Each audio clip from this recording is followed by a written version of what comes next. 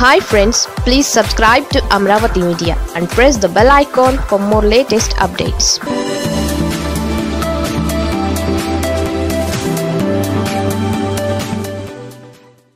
Jagan నచ్చనిది వేళకేనా?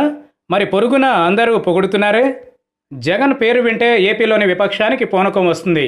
కరోనాతో సహా అన్ని అనర్థాలకు ఆయనే కారణమని తెగ విరుచుకు పెడతారు జగన్ ఏ మంచి చేసినా మెచ్చుకోవడానికి రాని నోళ్ళు చిన్న తప్పు జరిగినా రాద్ధాంతమే చేస్తారు.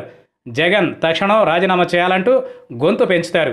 మరి ఇదే జగన్ బయట జనాలకు మాత్రం బాగా నచ్చేస్తున్నాడు. జగన్ పాలన బాగుందని దేశంలోని ఇతర రాష్ట్రాల సీఎంలు ఆయన పథకాలను తమ ఇలాకాలో అమలు చేస్తూ ఉంటారు. ఇక పొరుగునెబున్న తెలంగాణలో కాంగ్రెస్ నేతలకు అయితే జగన్ అద్భుతమైన పాలన అందిస్తున్నట్లుగా లెక్క. ఇప్పుడు కర్ణాటక నేతలు కూడా జగన్ని గొప్పగా కీర్తిస్తున్నారు. ఈ మాట అంటున్నది తెలంగాణ కాంగ్రెస్ నేతలు.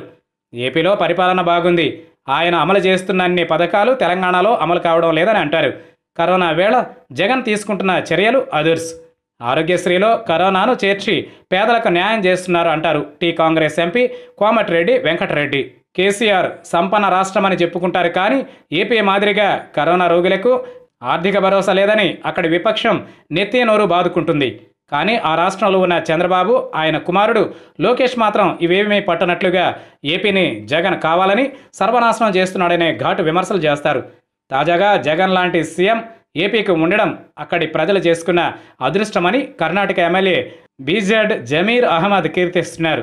కరోనా వేళ జగన్ చక్కని చర్యలు తీసుకుంటున్నారని పెద్ద ఎత్తున కితాబిస్తున్నారు. అక్కడ పేదలకు పైసా ఖర్చు లేకుండా ఆరోగ్యశ్రీలోకి కరోనాను చేర్చారని చెబుతున్నారు. దేశంలో ఇలా ఏ ఒక్క రాష్ట్రమూ చేయలేదని కూడా అంటున్నారు. జగన్ను చూసి మిగిలిన రాష్ట్రాల వారు నేర్చుకోవాలని కూడా అహ్మద్ హితబోధ చేస్తున్నారు. మరి ఒక విధంగా ఇది జగన్కి ప్లస్ పాయింట్గానే చూడాలి. ఏపీలో జగన్ పాలన మీద సగటు జనాలు బాగానే ఉందనే అనుకుంటున్నారు. ఇతర రాష్ట్రాల నేతలు చెప్పినట్లుగా మరీ గొప్పలకు పోకుండా అలాగని టీడీపీ నేతలు అన్నట్లుగా ఏపీ సర్వనాశనం అయిందని కాకుండా యావరేజ్ మార్కుని దాటే జగన్ ఏలుబడి సాగుతోంది అంటారు. అది తప్పు అయితే లోకల్ బాడీ ఎన్నికల్లో వైసీపీ ఏకపక్ష గెలుపు అసాధ్యమనే చెప్పాలి. అంటే జగన్ మీద జనాలకు వ్యతిరేకత లేదు. మరి టీడీపీ ఎందుకు అలా రచ్చ చేస్తోంది అంటే అది పక్కా రాజకీయం కాబట్టి అనే చెప్పాలి ఇక్కడ.